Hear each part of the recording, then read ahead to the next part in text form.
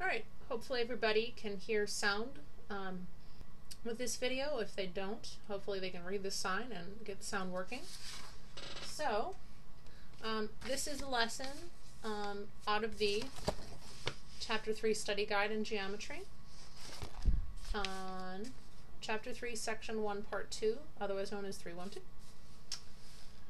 Um, on this section, we're going to be talking about a lot of different types of angles where you can compare two different angles um, in different positions, different intersections of lines, and uh, they can be classified in certain ways.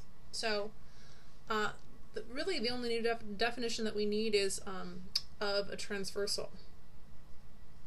A transversal is a line and intersects two or more other lines.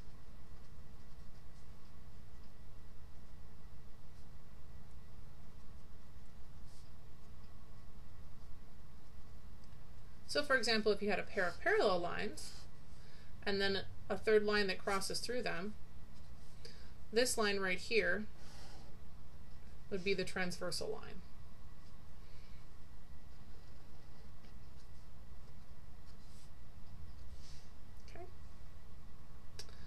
So, uh, the first definition is corresponding angles. So corresponding angles, you see here this is the transversal line. They exist at the same part of the intersection uh, when you look at two different intersections. Okay, so do you see that this angle right here is in the upper right hand corner of this intersection? And the same with this angle right here, angle 6 in the intersection of these two lines, it's in the upper right hand corner.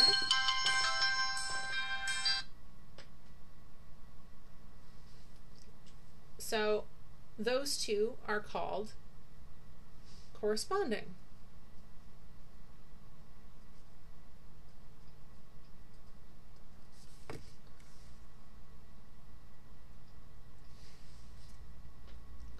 Now, how do we find corresponding angles in this diagram? Well, I would say that angle 2 is corresponding with angle 4. You see how in this intersection here and this intersection here, they're both on the top right hand section. So angle 2 and angle 4. Um, how about angle 1? If I have angle 1, which is right here, I would say angle 3 is the one that corresponds with it because in each of these intersections is in the upper left-hand portion of that intersection. So angle 1 and angle 3. I would say angle 5 is in the bottom left-hand corner of this intersection, along with angle 7, which is in the bottom left-hand corner of that intersection. So angles 5 and 7 would be corresponding angles. And then finally, angle 6 is in the bottom right-hand corner of this intersection of two lines, along with angle 8, which is in the bottom right-hand corner of this intersection. So, for that reason, angle 6 and angle 8 are corresponding. Now, alternate interior angles is the second concept.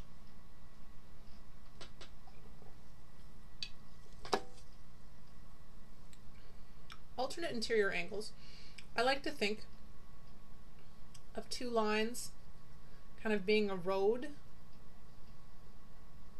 So these two lines form the edges of a road, and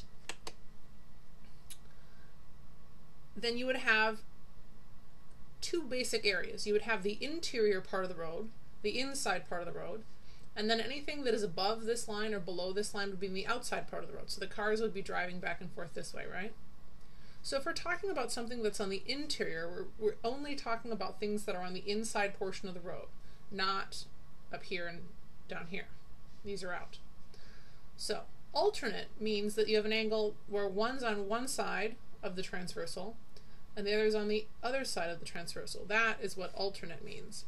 It means kind of across.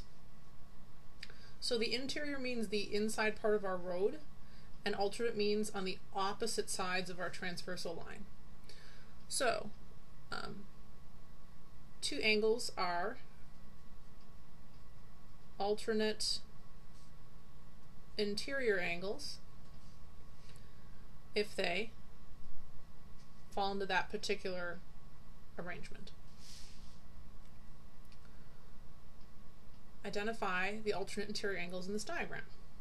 Well, if I see this as one road and this as the other side of the road, so to speak, this section right here would form the roadway. So anything outside of this would be on the exterior. That's on the outside.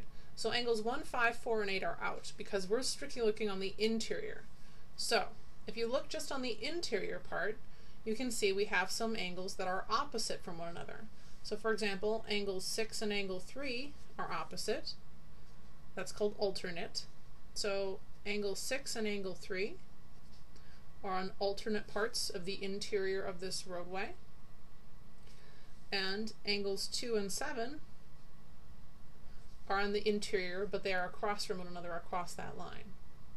So they are alternating on the sides. So angle 2 and angle 7.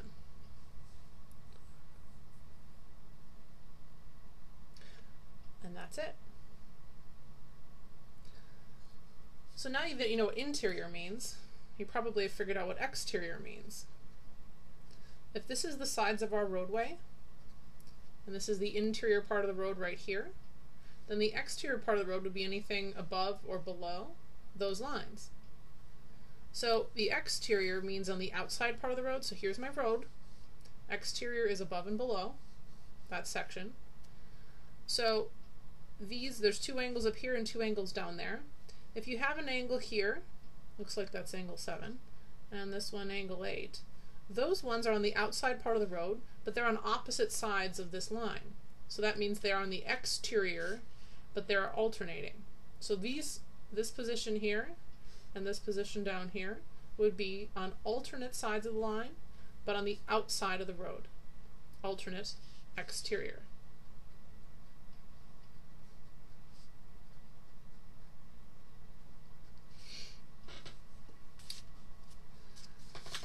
So, if this is our road, here's one side of the road here, and the other side of the road there. This would be the middle of the road, right? And so the exterior angles would be 1, 5, 4, and 8, right? So is there an angle that's an exterior angle but on the alternate side of the line? Yeah, from angle 1 would be angle 8, and from angle 5 would be angle 4. So those are my only two pairs of alternate exterior angles. 1 and 8 5 and 4.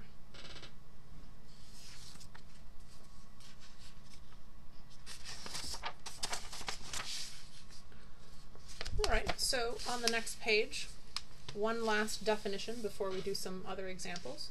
Consecutive interior. Okay, so again, you have the two lines that form your roadway here, remember the interior would be anything on the road, it's on the inside of that road. And then consecutive means that you'd have two angles that are on the same side of the transversal. So you can see angles 3 and 5 are on the same side of the line going through, and they're also on the interior part of the road, not the outside part of the road. And that's what's called consecutive interior.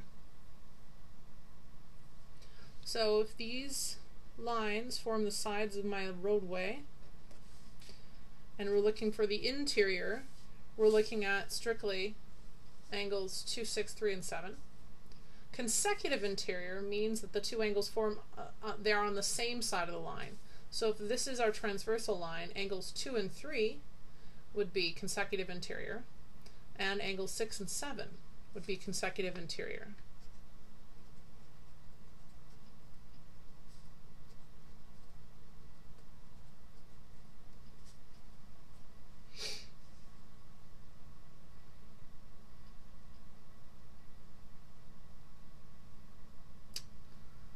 Okay, so in this diagram there's lots of possible angles. Um, they want us to tell them all the possible um, corresponding angles um, and alternate interior angles and alternate exterior angles and consecutive interior. So that is a very big job. I'm just going to show you the answers for this section. Um, obviously this is written a little bit differently, but it is the same diagram. These are all the corresponding angles. 2 and 10, 1 and 9, 4 and 12, and so on the list goes. These are all the alternate interior angle pairs. These are all the alternate exterior angle pairs. And these are all the consecutive interior pairs over there.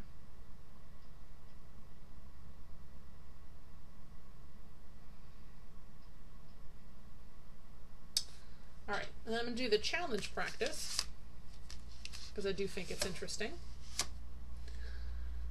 Now obviously these get a little more confusing when there's more lines drawn in the diagram, but it doesn't mean you can't figure it out.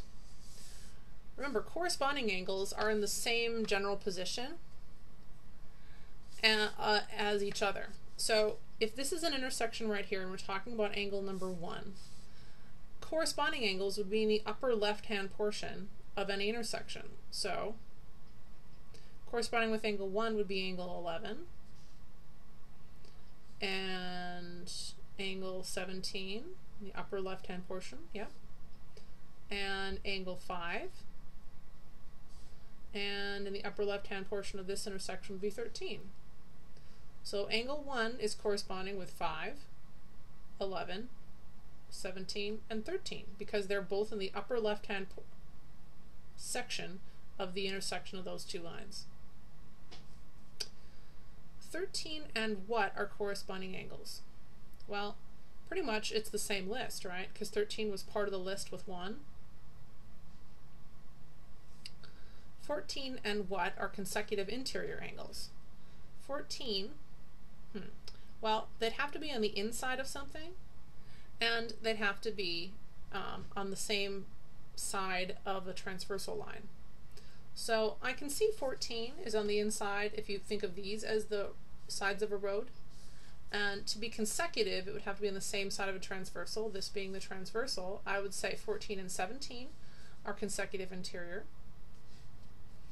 Now, I really don't see any other ones where 14 would match uh, up with something else.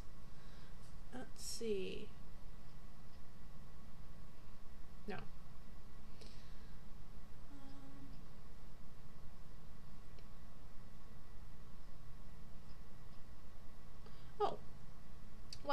Perhaps with 12. Um, if you consider this line and this line your roadway lines. And, or no, these two, sorry. These two lines are your roadway lines. And that's your line crossing through. Then 14 and 12 could be consecutive interior as well. Uh, name angles that are consecutive interior with number 4. Number 4. Well, if this line and this line formed your roadway, and then that's your transversal on top, then angles 4 and 7 would be consecutive interior. Um, if this and this would form your roadway, and then this was the transversal, angles 4 and 9 would be consecutive interior. alternate interior with 7. Well, alternate interior means it's on the other side of the transversal from 7. Um, so I would say 7 and 10. Also 7 and 14 would be on the alternate side of the line, but they'd be on the inside of two other lines.